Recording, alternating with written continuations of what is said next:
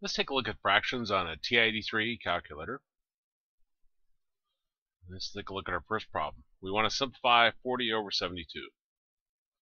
So I do 40 divided by 72, and then I'll push my enter.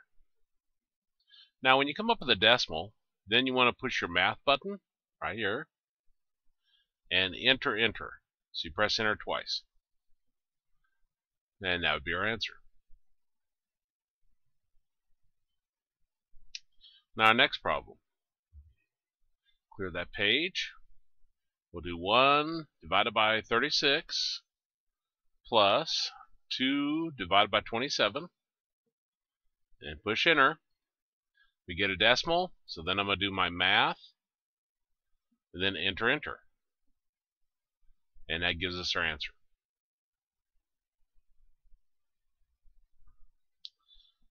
Now subtraction.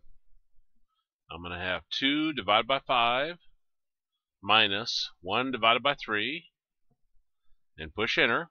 We get our decimal. So again, we do math, enter, enter. And that gives us 1 15th.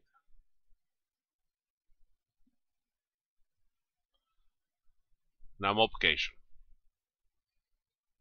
Okay, I'm going to do 14 divided by 21 times 9 divided by 7, then push enter.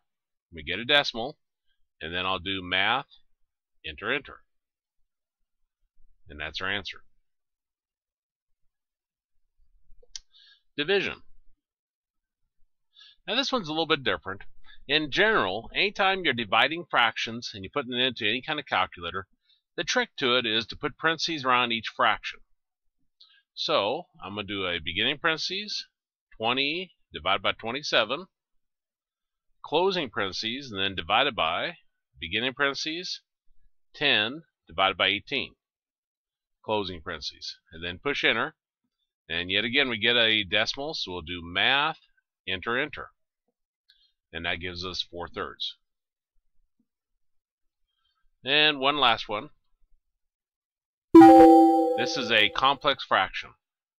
So I'll put parentheses around top, parentheses around the bottom. So I'll do a beginning parentheses, 1 divided by 3, plus 1 divided by 5, closing parentheses, divided by, beginning parentheses, 1 divided by 7, minus 2, closing parentheses.